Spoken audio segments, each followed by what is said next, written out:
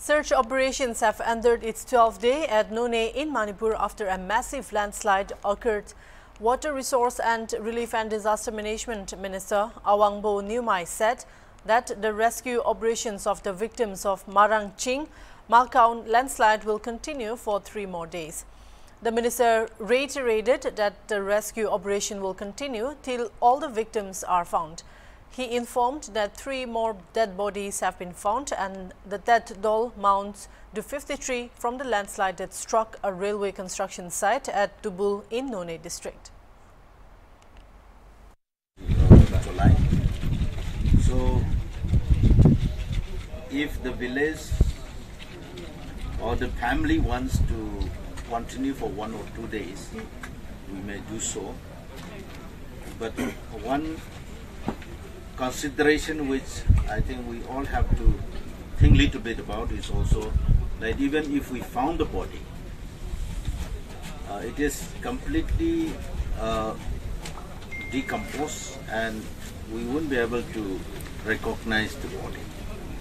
For last 12 days, they are putting all efforts on this uh, operation and with the uh, armies, the NDRF and SDRF, and mostly the village volunteers made a very exhaustive uh, exercise and I hope the victim families are also satisfied with the frantic effort we are putting in our uh, effort to find the body.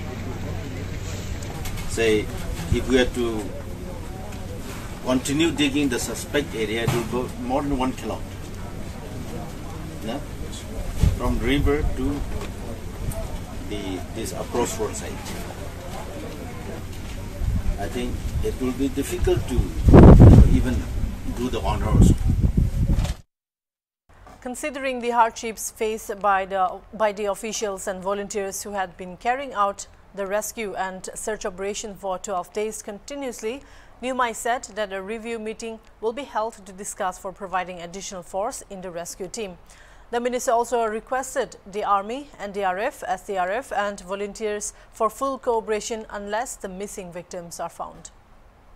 That's all for now. Keep watching Hornbill TV.